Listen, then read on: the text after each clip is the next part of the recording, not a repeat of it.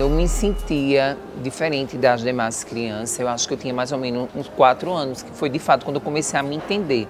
E via que algo de errado de fato acontecia comigo na questão de não concordar com o meu sexo biológico. Bem, meu nome é Stephanie Festini Silva, sou uma mulher transexual, estudante do Instituto Federal de Pernambuco, Campus Caruaru. Concluí o ensino fundamental em um programa chamado Pro Jovem Urbano, e tive o interesse de concluir o ensino médio. Daí apareceu a oportunidade de fazer o PROEJA, que me dava a oportunidade de fazer o curso de bombeira civil. Inclusive, é, que é sediada aqui, dois dias na semana no segundo semestre e três dias na escola estadual Nelson Barbalho. Tem a possibilidade de alcançar, além do ensino fundamental, o ensino médio, uma graduação em qualquer outra faculdade, entendeu?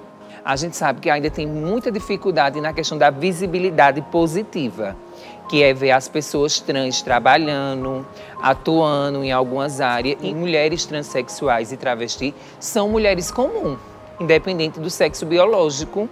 Você é fulano? Não, eu sou fulana. A questão do, do nome social foi um direito que o IFPE já tinha me permitido. Ah, eu me sinto bem, né? Porque até então é minha identidade, é minha pessoa, entendeu? Porque para mim é um transtorno, muitas vezes, as pessoas querem duvidar do nome da pessoa por conta que não está civilmente registrado, Stephanie.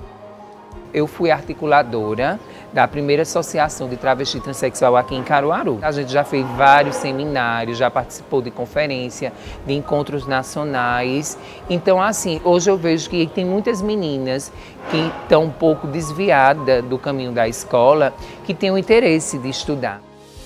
Eu fui envolvida na questão assim da prostituição, eu comecei a me prostituir e fui para a Europa. Quando eu fui para a Europa, eu vi que esse mundo não era um mundo para mim, entendeu? Então eu quis ter uma oportunidade de mudança.